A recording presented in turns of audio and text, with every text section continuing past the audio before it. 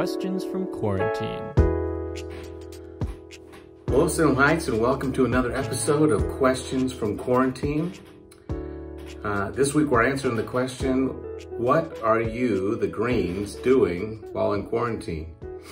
Uh, also answering, how are you doing uh, in that order. But the question came in, um, how are you doing? What are you doing uh, a short while ago? And it took me a little while to make sure I got permission to answer uh, all those uh, questions. But um, I'll just uh, go through uh, how our family's been doing just by individuals. Uh, it, it's actually been an enlightening time and a time that has caused us not only to stretch, but to improve in some areas. And so um, Ellie has, uh, during this last short season, rediscovered her love of art. I would love for you to be able to answer this question for me very quickly. I'll show you a couple of pictures here. Uh, but the question I want you to answer is, was it on the ark? Um, she has uh, created some pictures of animals. Some of them are actual and some of them are creatures that should not have been united. Was it on the ark? But also, uh, she has uh, remembered her love for animals. When we started in quarantine, uh, we only had a couple of finches in addition to her goldfish and her dog and other various things that are around the house now. Uh, but within short order, we ended up with five finches. And so uh, she's been finding homes for those. Uh, also, Paige has been doing school. As many of you have been learning how to do school from home. She's been uh, doing school while she's here and then preparing for a wedding. August 8th, her and Brett are still getting married, but uh, it's, as you can imagine, has offered us some challenges in this season, both in preparation and in anticipation. Uh, is it possible that we have to look at some modifications? And so uh, be praying for them as they prepare. Brendan has been preparing also uh, stuff from home. He's been working on schoolwork uh, he has been helping me with these videos uh, and then also has uh, been doing his music. And uh, some of you may have seen uh, the song that he put out there uh, at Easter time, um, some stuff that he has been writing, but he's been focused on music as well.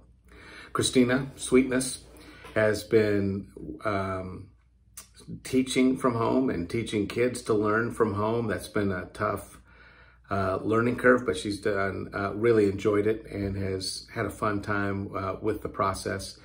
She and Ellie were in a uh, short um, procession. They uh, actually were part of a parade in West Salem for their school, and uh, that was a pretty special thing for them to be a part of. And I've just been learning how to do church from home and this kind of stuff, the learning curve for me is way up. I would prefer to uh, be face to face with everybody. But that has been how the Greenes, uh, or what the Greenes have been doing. Um, how we've been doing, uh, there are some folks who thought that uh, probably in our household, as uh, soon as quarantine hit, we were all just, uh, you know, quoting Bible verses to each other, meditating and being peaceful.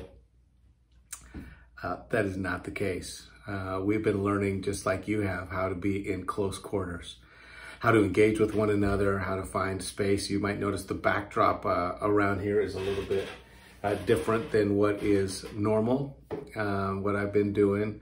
Uh, we've been trying to find space uh, because of our limited internet access, but also just trying to make sure that everybody can get what they need done, done. It's been a uh, fun learning curve, but also uh, it has been um, new. It's been, it's come with some rub. There's uh, uh a lot of things that we're looking forward to.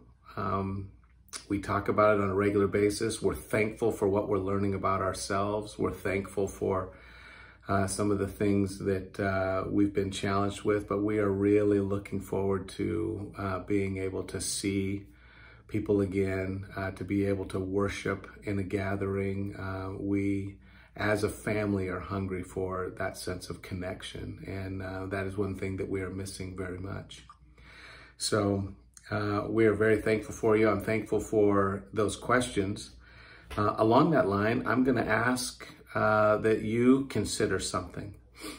Um, would you be willing to share a testimony of your life? Um, I've just shared a little bit about what we've been doing, uh, not a direct testimony, um, but we're going to start sharing testimonies at our church. Um, and I'm going to ask you to do this. I'm going to ask you to, first of all, share your testimony with your family. If you're an adult, share with them how you came to Christ uh, or share with your family a, a major hurdle that it took the Lord to transform something in you in order to produce uh, his good effect, in order for him to be glorified in your life. So I want you to share that testimony with your family. Um, and then I would love, if possible, for you to share it with us. Uh, consider um, putting a testimony um, uh, to either uh, my uh, email address um, or to Pete's address at the church. Um, and if uh, uh, if we get those before Thursday, we're going to start vetting some of those and putting those out once a week as uh, uh, we get some of your testimonies in at the church. We would uh, love to be able to start sharing testimonies of how Christ has transformed our congregation and sharing our stories with each other. Uh, just remember to make sure that uh, you keep it short and sweet, um, um, but make the emphasis on Christ. God is doing amazing things in us in this season, uh, but also He has already done amazing things in us, and it's a good season for us to be reminded of what He has accomplished. So, would you consider sending us your testimony? I pray that you will. God bless you. You.